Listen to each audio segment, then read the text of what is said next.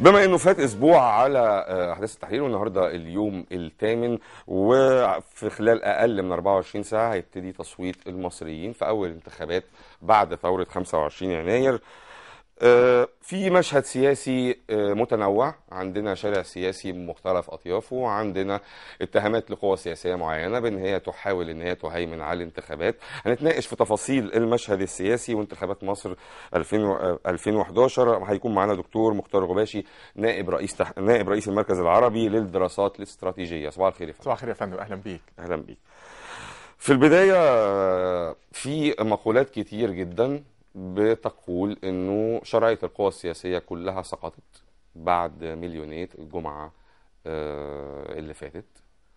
آه، لأنه آه، مطالبهم لا تعكس مطالب الشعب واتهموا بأن هم بيدوروا على مصالحهم وبيدوروا بشكل يعني بانتهازية سياسية على زي ما بيقولوا حتة من التورتة ومش فارق معاهم مطالب الشعب. ويمكن كان العنصر الرئيسي في مليونيه الجمعة كان الإخوان المسلمين. و... و... ويمكن في. مقولات كتير قالت إنه الناس نزلت من يوم السبت 19 علشان ترد على الاتجاه اللي بيقول إن إحنا نمثل الجميع. حضرتك شايف ال ال ال اولا الأسبوع اللي فات آه، مشي إزاي؟ خلينا ناخده من أوله. وكمان آه، نقول نقول إيه على القوى السياسية اللي موجودة؟ شوف آه، سؤال سعادتك وجيه جدا. بالتأكيد الأسبوع حمل جدل سياسي كبير آه، بداية من ظهور من نزول مليونية آه، يوم الجمعة ما فيش شك إن كانت هذه المليونية آه، التيارات الإسلامية هي اللاعب الأساسي والرئيسي في هذه المليونية وسعادتك تتذكر معي إن هذه المليونية كانت لها مطلب وحيد هي مطلب وثيقة السلمي. أو الاعتراض على وثيقة السلمي ويمكن بس كان في اتجاهات مختلفة على فكرة في الموضوع. يعني الإخوان كانوا معرضين عليها جملة وتفصيلا. في قوى سياسية كتيرة من اللي نزلت على على التسعة والعشرة بس صحيح. لكن. لكن بشكل عام مم. أنا أنا من الناس وكثيرين وثيقة السلمي أنا أعتبر كانت خطيئة لأن لا توقيت إصدارها ولا لها معنى لهذا الإصدار خصوصا إن من أصدرها أو معظم من تحمس لها قال إن هذه الوثيقة وثيقة استشارية أو وثيقة اختيارية مش حاجة إجبارية مش إلزامية. مش إلزامية للجمعية التأسيسية القادمة أو لشكل الدستور القادم. فطالما كانت هذه الوثيقة بهذا الشكل وعند طرح هذا الوثيقة في بدايتها للمناقشة لقت معارضة شديدة كان الواجب سحب هذه الوثيقة. ده من حيث المبدأ. فأنا أتصور أن الإصرار على وثيقة السلمي بالبنود الخاصة بها خصوصا المادة التاسعة والمادة العشرة اللي تتحدث عن الجيش وحامي الشرعية. ده بيفكرنا بالنظام التركي القديم.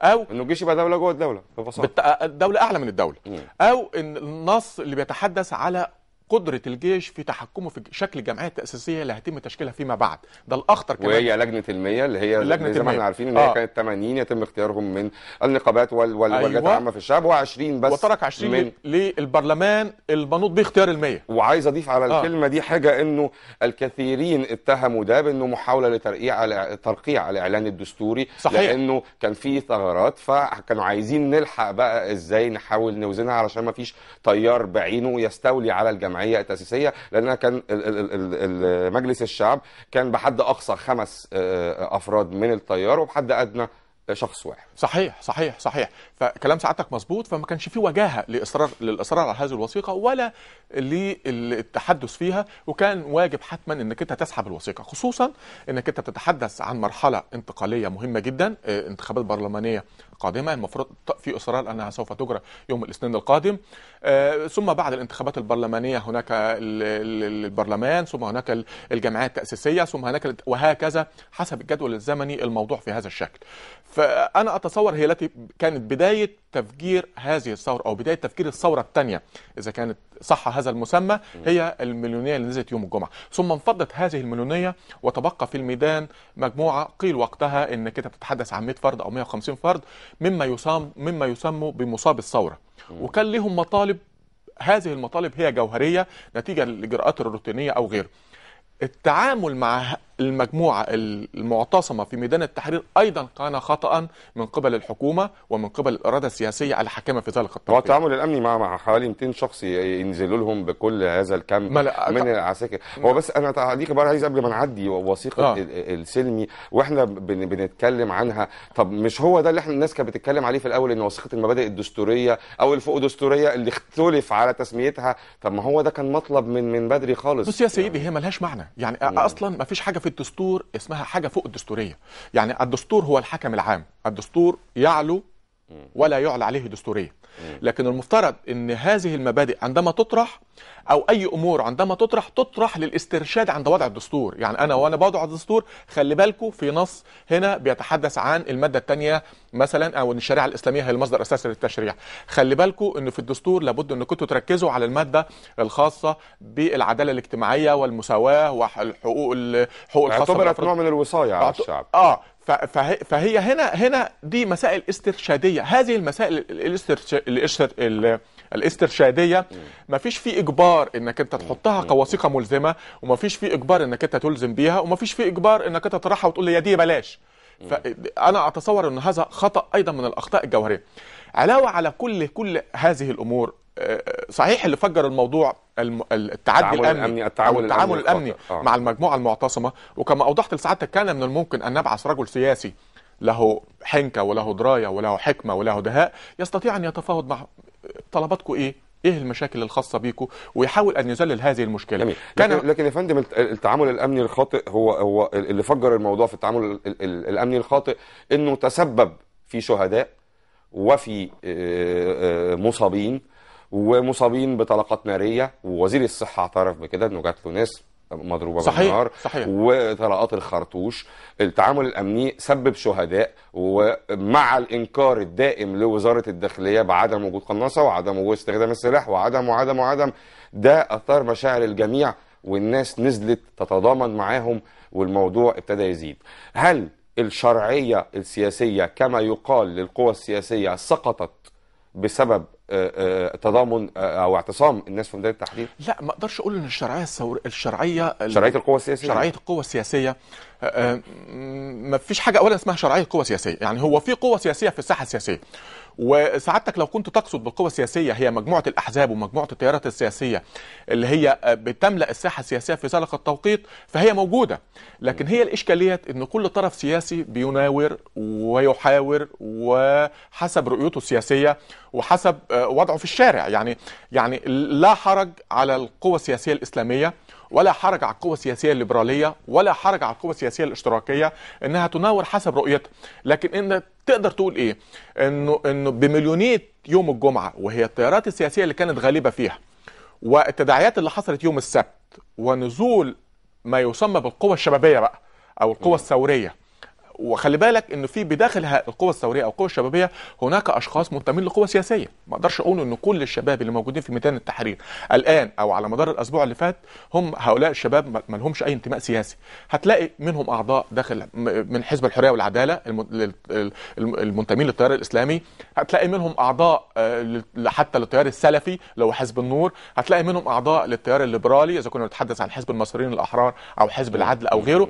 هتلاقي لكن هو هذه المجموعات الشبابية الثورية اللي نزلت من ميدان التحرير بصرف النظر عن انتماءاتها الحزبية هي خلعت هذا الانتماء ونازلة بشكل شخصي. هي دي جزء من شباب الإخوان نزل طب ده بياخدنا آه، آه، لأنه حدث تغيير كبير في خريطة التوازن في آه، توازن القوى السياسية بالنسبة للأطراف كرد فعل على اللي حصل. نقدر نرصد ال- ال- التغيرات في خريطة توازن القوى السياسية إزاي؟ ما أقدرش أقول هناك تغيرات جوهرية أصل التغيرات الجوهرية هيحكمها الصندوق على فكرة. يعني ما أقدرش أقول في الواقع الحالي لكن تقدر تقول إن أصبحت هناك هيمنة داخل المجموعة الشبابية اللي موجودة في ميدان التحرير على خلع الانتماء الحزبي. هو دي- النقطة اللي موجودة. لكن المفصل الأساسي لمدى قدرة وقوة التيارات السياسية الموجودة في الساحة السياسية هو الصندوق الانتخابي اللي هيجرى يوم الاثنين.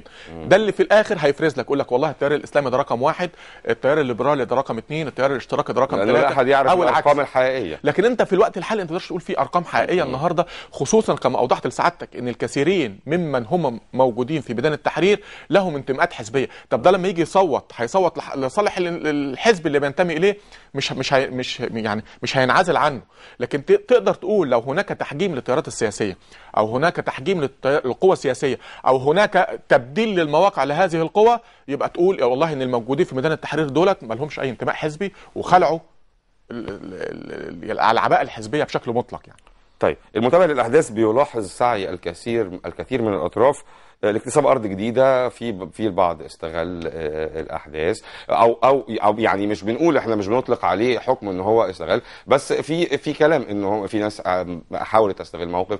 مثلا المرشح للرئاسة حازم صلاح ابو اسماعيل نزل الميدان. آه، طبعا. يمكن ال ال ال ال الإخوان آه، موقفهم آه، الرسمي كان إن هم مش عايزين ينزلوا. لكن في المقابل الدكتور محمد البلتاجي راح الميدان وتم منعه. آه، هو ومجموعة من آه، من الإخوان.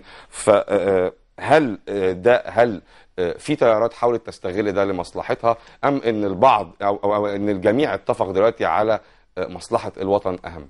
يعني أنا أتصور ان إن هناك بالتأكيد هناك جدل سياسي في الساحة السياسية. هناك تيارات سياسية تحاول أن تستغل هذا الوضع لمصلحتها خصوصا الت- التيار اللي اتواجد في ميدان العباسية مثلا أو أو المليونيه اللي نزلت ميدان العباسية. طب دي موقفها إيه من الساحة الثورية؟ وموقفها إيه من التيارات السياسية والقوى السياسية اللي موجودة؟ ثم كما أوضحت لسعادتك إنك انت لا تستطيع أن تفصل أو تعزل الشباب اللي موجودين في ميدان التحرير اللي هم أصحاب القوى الثورية عن انتماءاتهم الحزبية.